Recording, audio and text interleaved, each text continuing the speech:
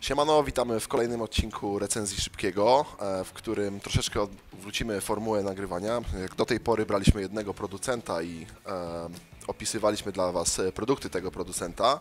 E, w tym odcinku weźmiemy z kolei jeden produkt, e, różnych producentów i postaramy Wam się e, opisać ich wady i zalety. Na potrzeby tego filmiku jest tutaj dzisiaj ze mną specjalista w kwestii akcesoriów do gier karcianych, Kuba. Siema. Cześć.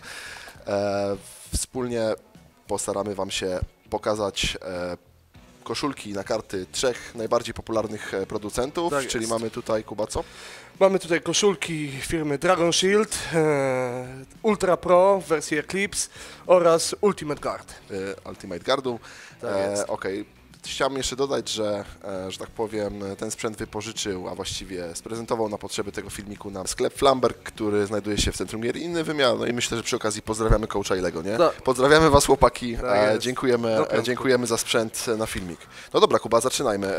Mamy koszulki na karty. Tak jest. No, rzecz niby bardzo podstawowa, jednak no konieczna, jeżeli gramy taliami za czasami ponad, ponad za tysiące Parę- złotych. Tak. Tysiące złotych. Tysiące złotych. No to dokładnie. jeżeli mamy takie drogie karty, to podejrzewam, że w domyśle chcemy, żeby były one dobrze chronione i żeby się prezentowały należycie, prawda? No i w tym, jak wspominaliśmy wcześniej, w tym zestawieniu zaprezentujemy tutaj razem z Robertem Trzech producentów. tak jest, trzech. Dragon Shield, od którego sobie pozwolę zacząć. No jest to w Polsce, jest to najbardziej popularna marka.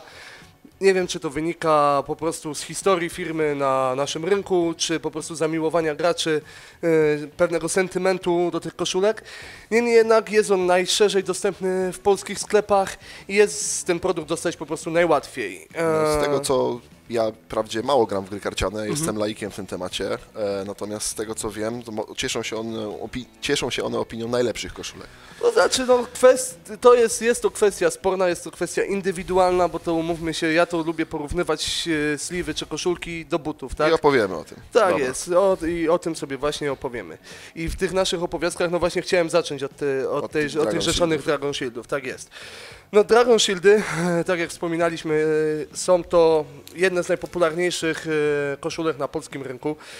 Wydawane są e, w dwóch wersjach, jeżeli chodzi o ilość. Pakowane są po 60 i po 100 sztuk. No tutaj e, na To potrzeby tego filmiku tak, przy, przynie, przynieśliśmy tutaj najpopularniejsze stówki, no ze względu na to, że zawsze dobrze mieć, nawet przy 60-taliowych Jasne, więcej kartach, na le, lepiej mieć zapas, prawda, żeby w razie porwania się czy coś można było sobie taką koszulkę podmienić.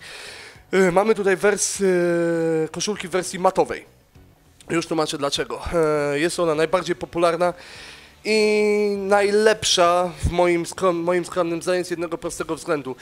E, Uczucie tasowania, do którego także, tak powiem, prawie płynnie próbuję przejść w naszej rozmowie, jest najlepsze, bowiem... Czyli tutaj już nawet na poziomie odczuć przy tasowaniu, tak? Tak, Ma to, no, są ma to- różnice. Tak? Tak, no ma to diametralne znaczenie, no bo ponieważ jeżeli jesteśmy w, na turnieju przykładowo, tak, i chcemy tą talię roztasować, żeby nam dochodziły karty tak jak powinny, żeby odpowiedni stopień randomizacji zachować, prawda, konieczne jest roztasowanie tej talii.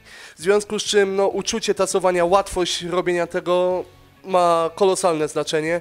I no przy Dragon Shieldach no, działa to na ich korzyść. Ja może Okej. ci mam tutaj, jak Adam Słodowy, przygotowałem sobie wcześniej takową talię, żebyś mógł, żebym mógł tutaj dać sobie spróbować, żebyś mógł sobie sam odczuć wrażenia, że tak powiem, stasowania. Tak jak mówię, ja jestem e, mało obeznany z grami karcianymi, ale myślę, że poczuję różnicę, jak dostanę, e, że tak Oczywiście. powiem, kolejny. Czy z mojego punktu widzenia tasuje się to dobrze, tak? Tak. E, ani się one jakoś za bardzo nie ślizgają, nie sklejają się. To akurat, e, to akurat jest pewne. Jestem ciekawy, co się stanie, jak może tak je spróbuję złożyć.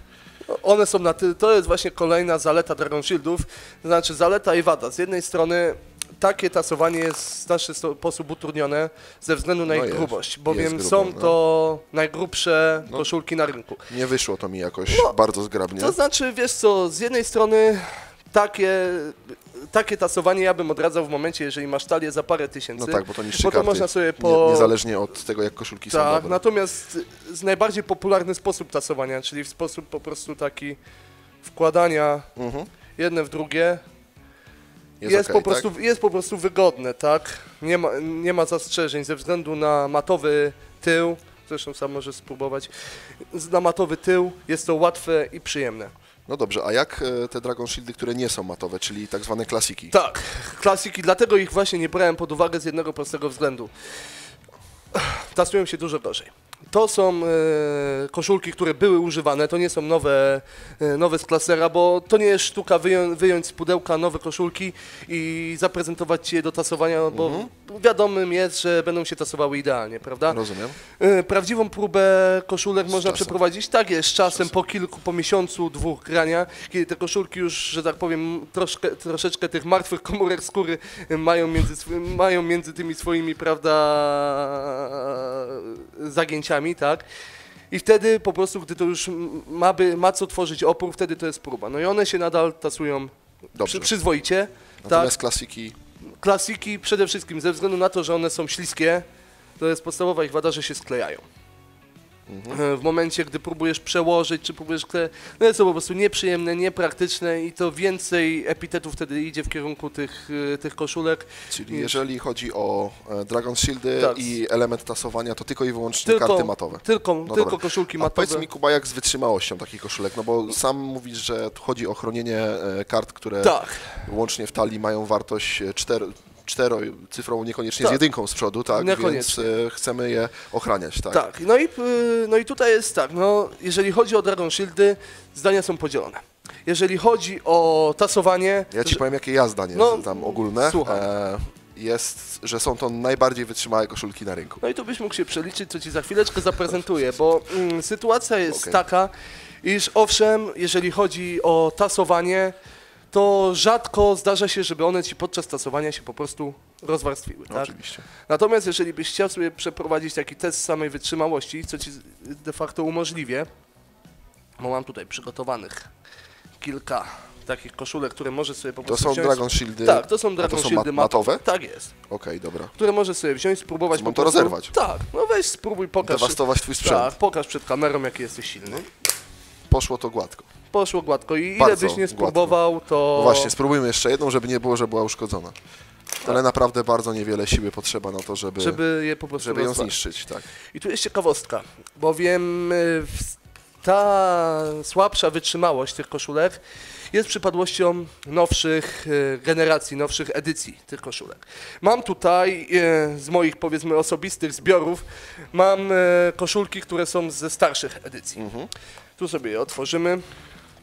Wyglądają identycznie do I co, i tamtych. też będę niszczył? Jak no fajnie. Tak, no tak, no porównaj po prostu. No, w moim, Okej, dobrze, w no moim porównujemy. mniemaniu są bardziej wytrzymałe. Trochę, Tak, ale naprawdę trochę. tak. Tamte się rozdzierały bardzo łatwo, a tutaj trzeba... Jeszcze jedną spróbuję.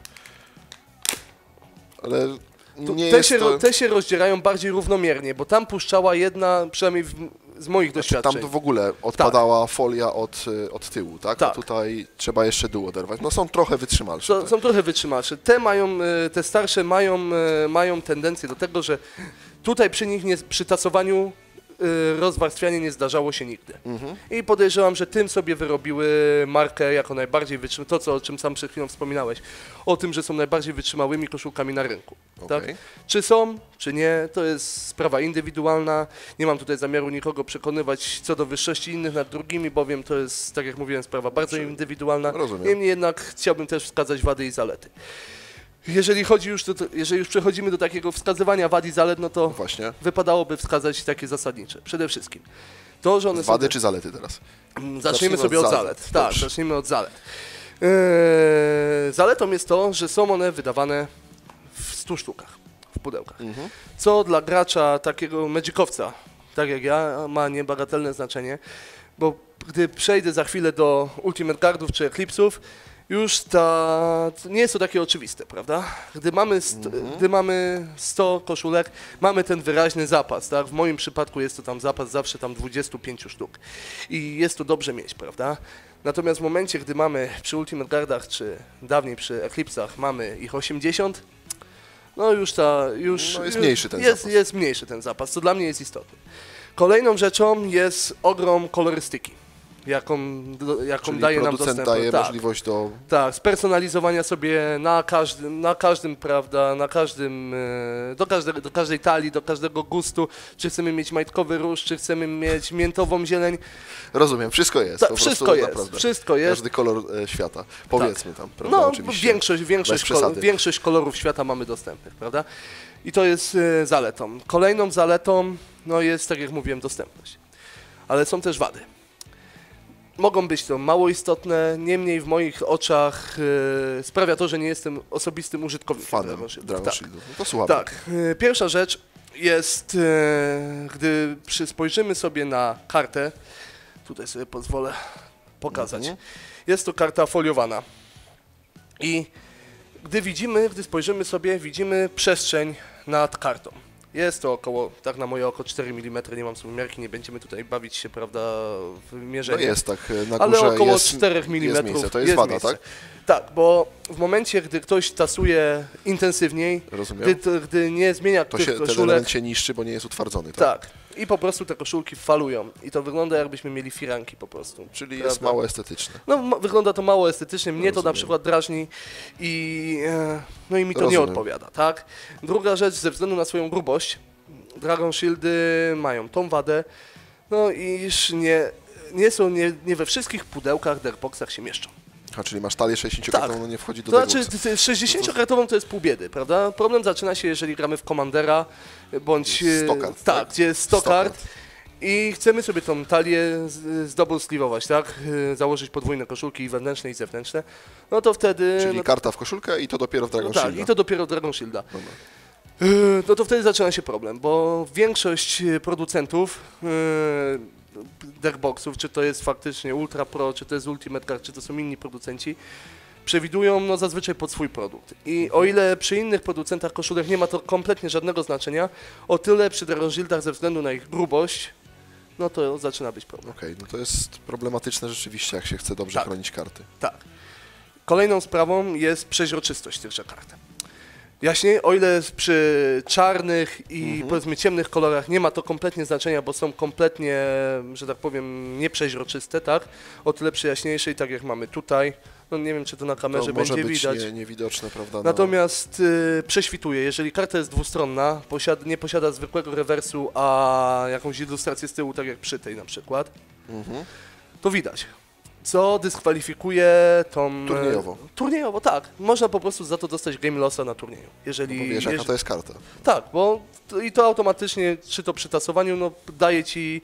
e, No tak, to jest daje ci przewagę po prostu. Generator i, e, tak, wałów, tak? Tak, a tego, a tego nikt nie chce, w związku z czym... Hmm, Są niedopuszczane. są takie niedopuszczone. To znaczy, No inaczej, możesz, słabo. możesz sobie to okoszulkować taką talię, jednak jeżeli ktoś cię złapie, co ostatnio parę miesięcy temu w Pradze miałem taki przypadek, że kolega po prostu Flamberga dostał game lossa za to, Że miał te Tak, miał, no, on miał chyba Czyli pomarańczowe. problem akurat. rzeczywiście istnieje, tak? Tak, to, to jest realny, realny Rozumiem. problem, z którym trzeba się liczyć. I jeżeli chcemy wybrać Dragon Shieldy, celuj, im- a mamy dwustronne Ciemne karty w talii, już. celujmy w ciemne, Ciemne kolory. Tak. No coś i- jeszcze? No, to już jest kwestia... To są te najważniejsze No to są najważniejsze najważniejsze rzeczy. Istotną jeszcze może być rzeczą wygląd, jak wyglądają karty foliowane. Okej. Bo są ludzie, którzy powiedzmy mają nadmiar pieniędzy i chcą sobie talię już za parę tysięcy sprawić, żeby ona kosztowała tysięcy kilkanaście. Tak jest. Jeżeli kto bogatemu zabroni, jak to Oczywiście. mawiają. Bo Natomiast biednemu bo, bogato żyć. tak. Rzecz jasna. Natomiast no też chcielibyśmy, żeby ten foliowany deck nam się prezentował należycie i godnie, tak, w tychże koszulkach. No i trzeba przyznać, że ze względu na to, że mamy ten przód przeźroczysty, prezentują się całkiem przyzwoicie. Widać te refleksje, widać, e, no może być to może być to też wadą, jeżeli gramy w pełnym słońcu, tak? Natomiast po to kupujemy sobie foliowane karty, żeby to świecenie było widać. No jest tutaj bardzo dobrze Jest to widoczne. widoczne. Bardzo dobrze widoczne. No. Tak jest. Okej, e, okej Kuba, to może zajmijmy się, chyba że masz coś jeszcze ważnego? Nie, jeżeli chodzi E, bardzo ważnego, bo wszystko. wszystko to jest istotne oczywiście Tak. dla ludzi, którzy e, są pasjonatami gier karcianych. E, to może przejdźmy do Ultimate Guardów, tak? Ultimate Bo- Guard. Tak Proszę jest. bardzo. Jeżeli chodzi o Ultimate Guardy, no to jest to, szczerze mówiąc, powiem w ten sposób.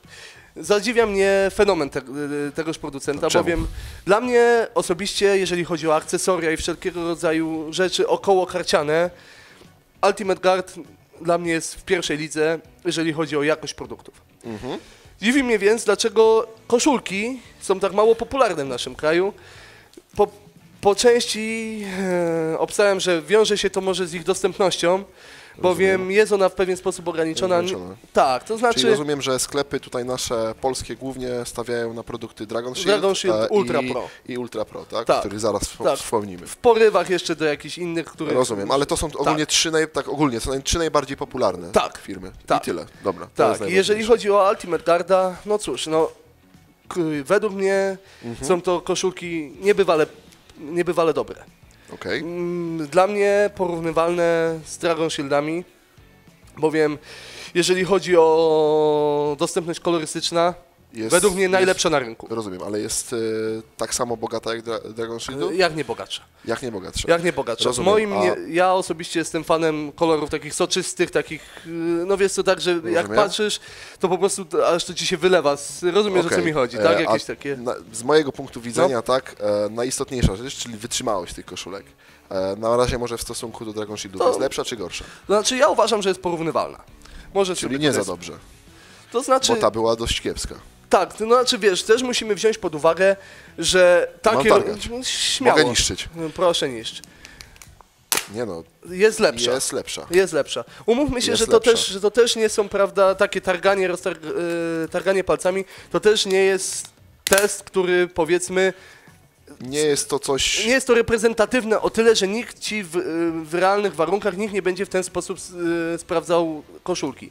Natomiast ja uważam, że jeżeli coś jest w stanie wytrzymać roztarganie palcami, wytrzymalsze. to wytrzyma tym bardziej przy tasowaniu. Oczywiście. Może jest, to, może jest to argument mongolski, prawda? Natomiast no, ja uważam, Znaczy że, to ma sens, tak? że w, te, w tym szaleństwie jest metoda, neguję. tak?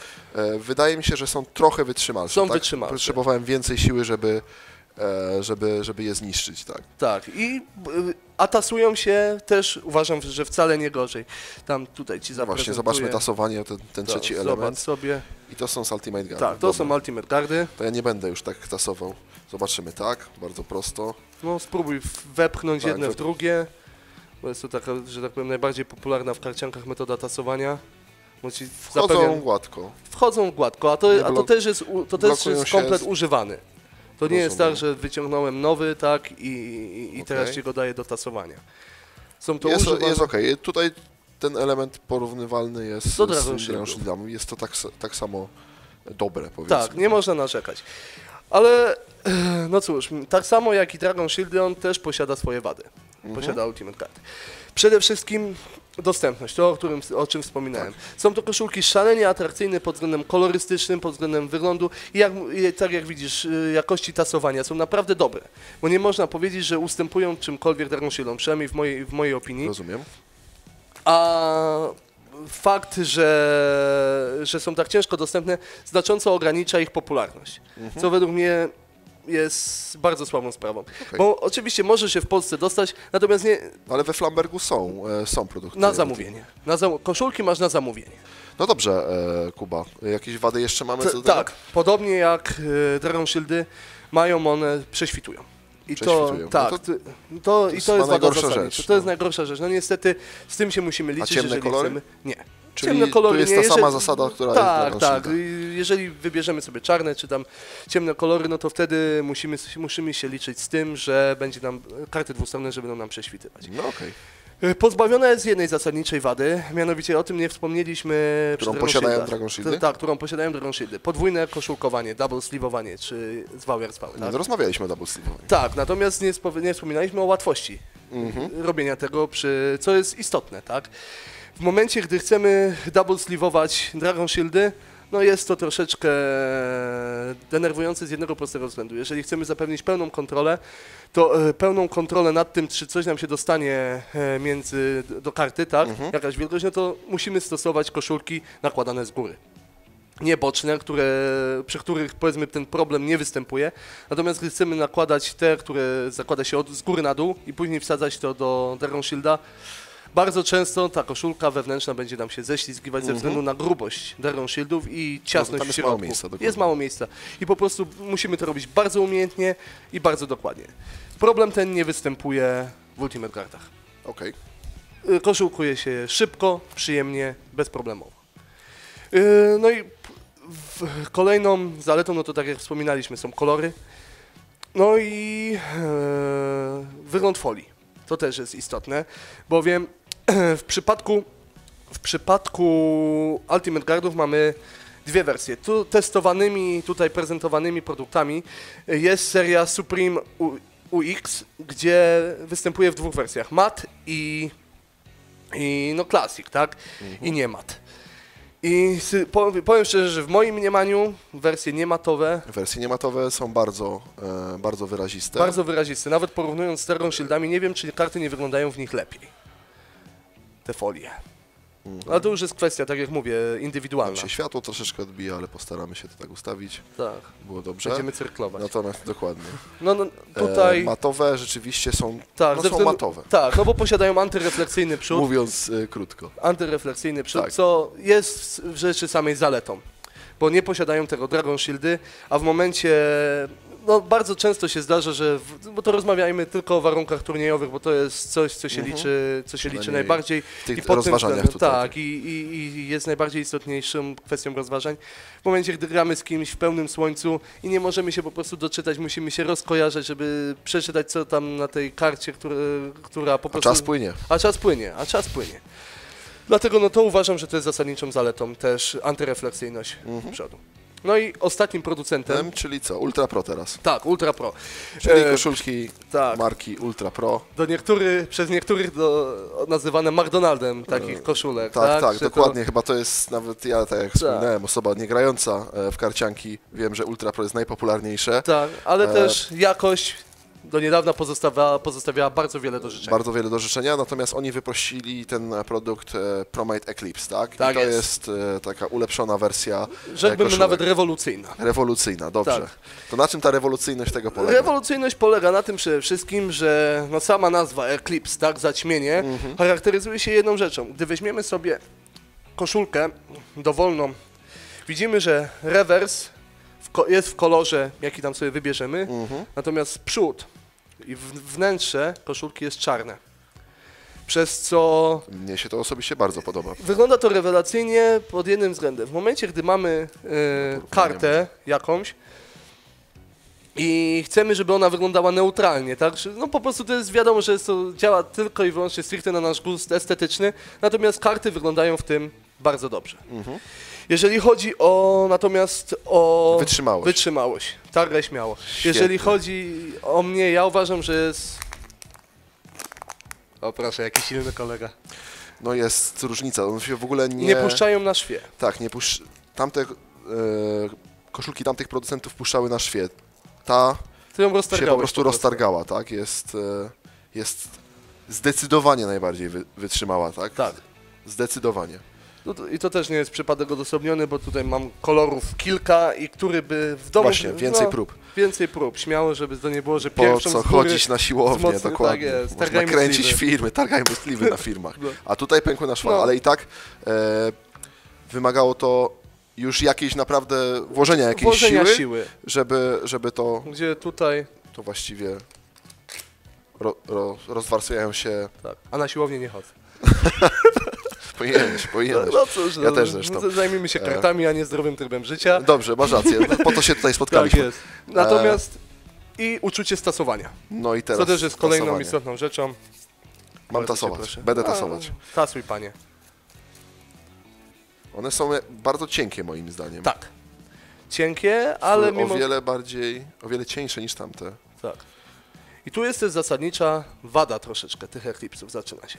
Ja jej nie czuję, ale opowiedz mi o niej. To ją może tak, zauważam. już Ci mówię, ja ze względu, no ja jestem, odkąd Eclipsy pojawiły się na naszym rynku, ja stałem się ich zagorzałym, zagorzałym fanem, tak? Bardzo mi się spodobała ta formuła, gdzie mamy rewers w kolorze, jaki, jaki sobie wymyśliliśmy, a przód e, no, w, neutralne, w neutralnej czerni, co sprawia, że ta karta lepiej się prezentuje, jak wspominałem. Tak. Natomiast podczas swojej produkcji e, e, Eclipsy miały Dosyć kilka potknięć. ciężko.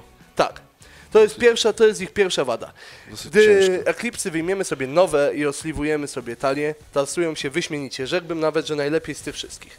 Natomiast w sytuacji, gdy te e, koszulki już troszeczkę, troszeczkę pobędą w naszych dłoniach, te poczują troszeczkę potu i tych martwych komórek, no to wtedy to uczucie stosowania zmienia się diametralnie.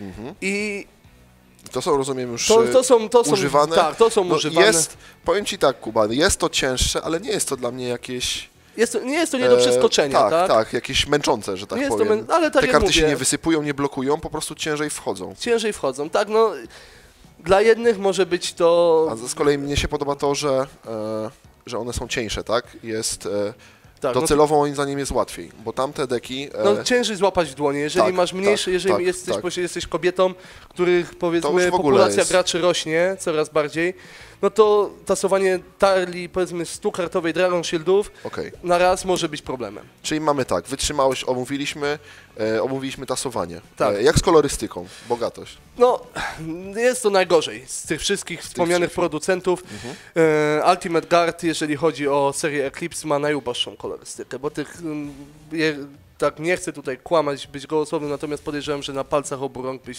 był w stanie policzyć. Naprawdę, tak, a w pozostałych przypadkach by ci rąk i nóg brakło i podejrzewam Okej. na mobu. Mhm. E, I to jest jedna zasadnicza wada, poza, poza tasowaniem. Drugą wadą było to, że podczas produkcji tych pierwszych, e, pierwszych e, edycji Dragon Shieldów, gdy jeszcze nie były 100 pakowane po 100, tylko po 80, no to była, było to znaczną wadą. Mhm. Bo e, raz, że tak jak wspominałem wcześniej, 80 e, No 100 lepiej mieć. 100 lepiej mieć po prostu, krótko, no. dokładnie. A poza tym był problem z wycięciem. Mhm. W momencie, gdy chcieliśmy na przykład kupić w dwóch różnych sklepach te same koszulki, mimo że miały ten sam kolor, to w momencie, gdy je złożyłeś do kupy, nie wiem, czy to będzie widoczne na tym. Nie, to są akurat, o widzisz, jest to widoczne. Mhm. Nie są one, nie są one jednolite. Są różnice w wycięciu, to prawdopodobnie, nie wiem, czy to Jest będzie widoczne. Jest to widoczne. Jest to widoczne. Po jednej stronie widzisz, jest to jednolite, Mhm. po drugiej natomiast nie jest. Stricte wizualna rzecz, No nie do końca, bo ktoś może wiedzieć, jakie karty są w jaśniejszych koszulkach i wiedzieć... no to to już jest powiedzmy daleko i Jestem dale... Polakiem, kombinuję, No tak? oczywiście, no to to wolno ci.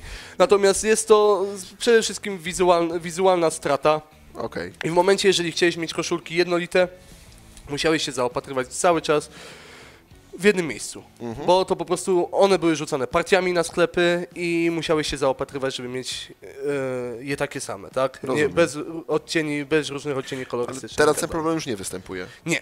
No to jest najistotniejsze. w momencie wprowadzenia paczek po 100, Jest problem rozwiązany. problem jest rozwiązany. To można to pominąć, moim Moż, zdaniem. no jeżeli, można, natomiast warto o tym wspomnieć. że kiedyś tak, no Tak. tak, w sumie może, żeby bo, pro, producent bo, bo na rynku nadal, nadal znajdują się, po prostu nie zostały jeszcze sprzedane po prostu wszystkie paczki po 80 i w momencie, jeżeli ktoś by się pokusił, żeby sobie kupić, To no może to mieć problem, taki problem. tak. I przede wszystkim może też mieć problem, jeżeli najpierw kupi 80, a później kupi setki, to odcień też się zmienia. No Tychże okej. kart. No nawet te białe widzisz, że tutaj są Słuchaj, wydaje mi się, że omówiliśmy to już wszystko. Jeszcze folię. Jeszcze folię, dla porównania. oczywiście. Dla porównania. No No, tu jest, mamy To jest chyba, z tego co Tak. wiem, wada tych Eclipsów, że To znaczy wada, no Czy- jeżeli mamy foliowany deck, jest to wada jeżeli tak, ponieważ e, po prostu te karty matowią, Tak. e, zaciemniają, Zaciemniają. tak jak nazwa No, słońce nam wskazuje. się nie odbija, natomiast też nam się nie odbija hologram pod spodem. Dokładnie, czyli osoby, które e, chcą grać kartami Drogimi, foli drogimi foliowanymi, Tak. niestety z produktu Ultra Pro Eclipse nie, no, nie, nie, nie będą się cieszyć po prostu. nie będą tak. się mogli cieszyć e, Tak. e, tą, tą foliką. Tak. Natomiast też jest bardzo istotne, to ostatnia rzecz, że ci wejdę w słowo, podwójne sliwowanie też jest bezproblemowe Czyli tutaj nie ma nie męczarni ma, w przypadku nie. tym. Jedynie przy Dragon Shieldach. To może tak zbiorczo, słuchaj. Tak. Wytrzymałość, No, według Eclipsy, Eclipse. ewidentnie, to Tak. ja sam sprawdzałem. Tasowanie? W moim mniemaniu, jeżeli chodzi o używane, najlepiej mnie się tasują osobiście Ultimate Guardy. Ultimate Guardy, dobra. Tak. E, sliwowanie? Ultimate Guardy i Eclipse Remis. W moim, E, w moim Dragon. Shieldy, dramat. No, no dramat, no E, gorzej. jakiś element, o którym zapomniałem? No cóż, no wytrzymałość, taso, tasowanie, no No chyba tyle. No- to jeszcze może najistotniejszy element dla klientów, tak? Cena. cena. No i tu się zaczyna robić ciekawie, bowiem no koszulki no nigdy nie, nigdy nie były traktowane jako dobro luksusowe, w związku z czym nie kosztują nie wiadomo ile. Natomiast jeżeli przejrzymy sobie e, koszty poszczególnych e, koszulek, to okazuje się, że najtańsze są Ultimate Guardy. Bowiem za, za opakowanie 80, 80 sztuk zapłacicie w zależności od sklepu i miejsca, w którym się znajdujecie, około 25 polskich, około 20 polskich złotych. I za paczkę 80. Za paczkę 80 Okej. 20 zł. A paczkę 100 Eclipsów? 100 eklipsów zapłacicie 30 zł. 30 zł. Gdzie jest to dycha już praktycznie różnicy. Więcej, choć tych koszulek jest o 20 O więcej, ale i 20 tak więcej. e, stosunkowo Proporcjonalnie, i tak wychodzi proporcjonalnie, drożej. Dragon za- Shieldy? Około 25 zł za koszulkę. Za 100. za, za 100, Za 100. kosz- za tak. 100 koszulek. Czyli Eclipsy są najdroższe. Najdroższe ze wszystkich. Zapewniają mimo wszystko największą wytrzymałość, jak pokazaliśmy. No to już, y, jeżeli zastanawiamy się teraz nad opłacalnością, no to każdy musi sobie zrobić, że To tak Kuba, powiem, listę. Proste pytanie. Które ty wybierasz? No Ty ja, u- chyba to powiedziałeś, no że ja Eclipsy. używam Eclipsów. Eclipsów. Tak. Mnie się one osobiście najbardziej podobają i przekonuje mnie ich wytrzymałość, pomimo tego, że e, cena jest wyższa.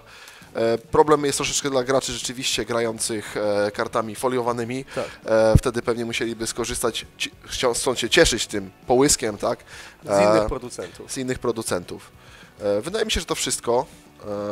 Mam nadzieję, że to rozważenie tych sliwów na naszym rynku będzie dla Was użyteczne. My Wam dziękujemy za uwagę i zapraszamy Was na kolejny odcinek recenzji szybkiego. E, Z Kubą się na pewno jeszcze spotkam i omówimy dla Was coś innego dla karciarzy, tak? Dobra, dzięki, Dzięki. Kuba. Cześć.